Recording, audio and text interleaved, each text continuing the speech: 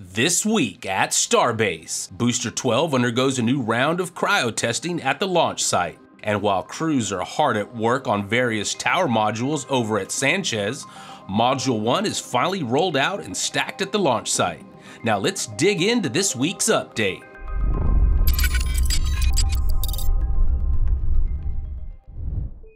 Starting off this week on Friday morning, one of the steel feet that are the interfaces between the tower's base and the prefabricated modules was lifted off its corner and set down nearby. Presumably, this was to allow workers access to the mounting points. A few hours later, it was reinstalled. About a half an hour later, the foot on the opposite corner was removed and placed on the ground nearby as well.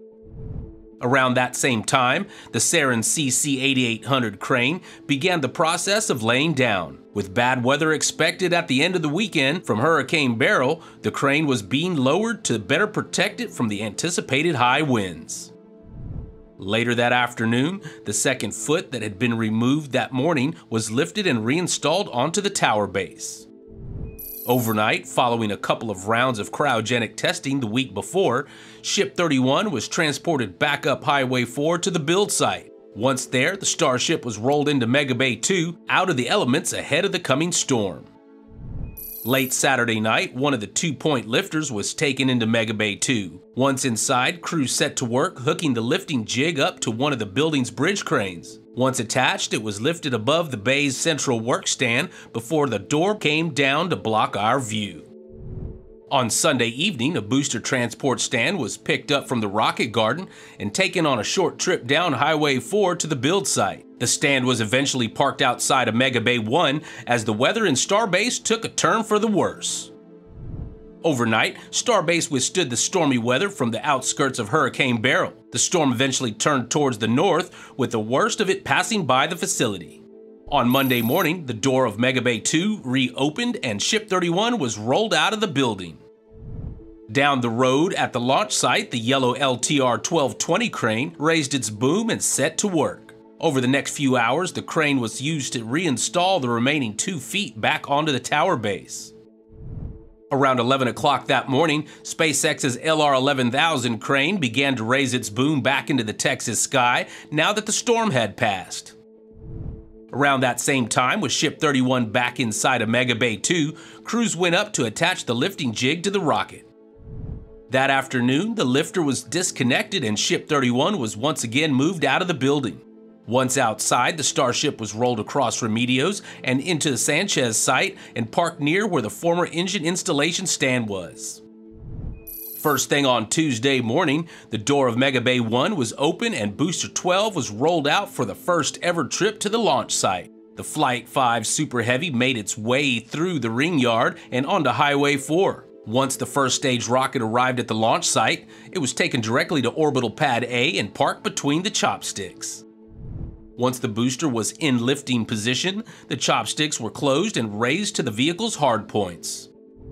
Meanwhile, back up the road at the Sanchez site, crews were hard at work installing cryogenic piping in the third prefabricated module of Tower Number 2.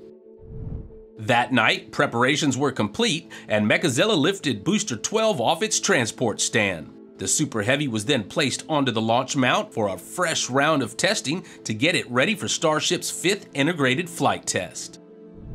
A few hours later, the rocket's transport stand was moved out of the launch complex, back up the highway to the build site, and parked in the ring yard. Around that same time, Ship 31 was moved out of the Sanchez site, back across Remedios Avenue, and into Mega Bay 1.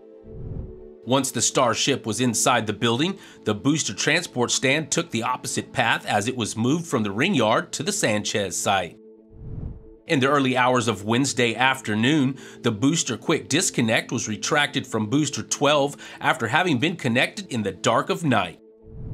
Meanwhile, the big Sarens crane picked up the tower module load spreader for the first time and positioned it over the top of the first prefabricated section.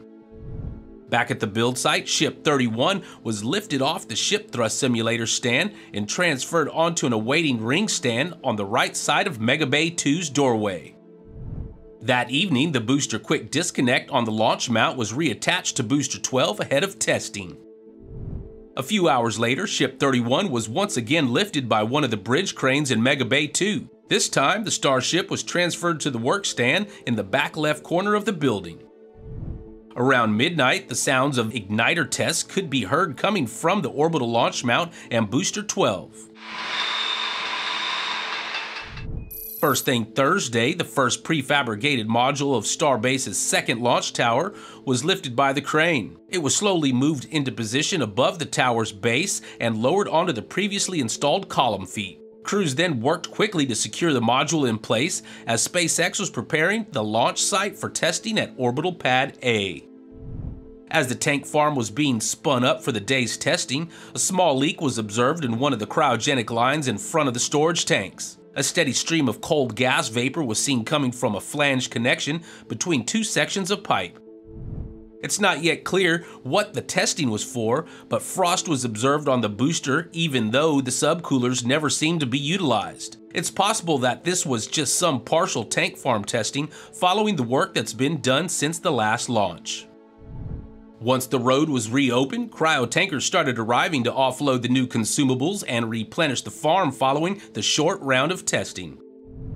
That afternoon, Booster 12 was seen performing some test actuations of its four grid fins. A short time later, the ship quick disconnect arm performed what appeared to be a full speed retraction test before being swung back into position. It's worth noting that the timing of the arm moving out of the way during launch still appears to be an issue, with the arm having taken damage during the multiple flight tests.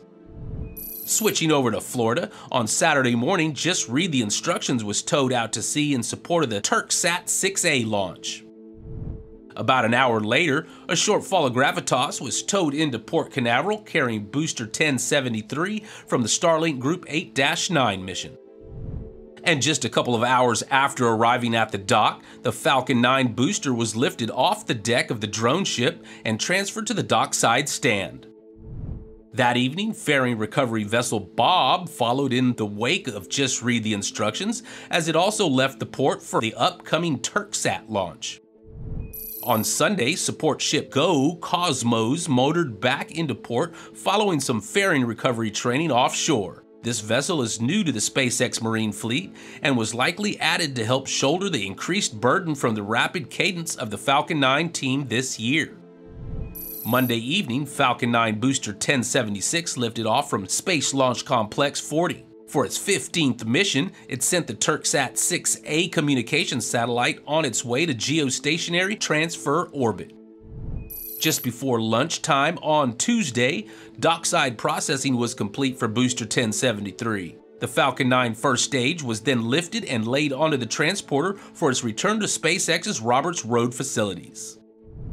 On Wednesday evening, Bob returned to port after successfully recovering both of the fairing halves from the Turksat launch just two days before.